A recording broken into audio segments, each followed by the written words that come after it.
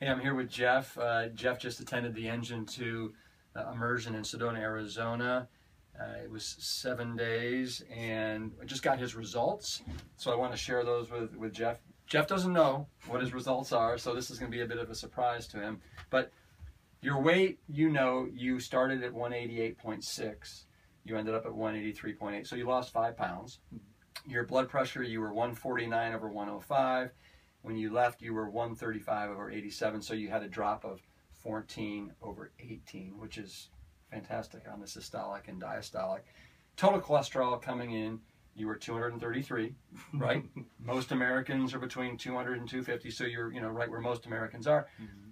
To me, this is amazing. Your total cholesterol, after really just six days, dropped to 159. No way. 159, right? So you dropped 74 points. 74 points on your wow. cholesterol.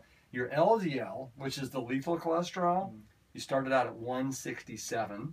You came down to 107. So you, you dropped 66 points on your, I'm sorry, 60 points on your LDL. Your HDL, which is your good cholesterol, you started at 40, you came down to 33, but that's completely to be expected when you bring down your mm. your cholesterol, all fractions come down. And then your triglycerides, which are a function of fat in your blood, you were at 130 and you came down to 92, so you dropped 38 on that. So, Jeez. so you can see your cholesterol 233 to 159, LDL 167 to 107, triglycerides, HDL, and there's your weight. So, dude, you hit a home run, absolute home run. awesome. So, so, uh, so happy and proud of you. Thank you. Nice going. Yeah. Yeah, Jeff Rowe.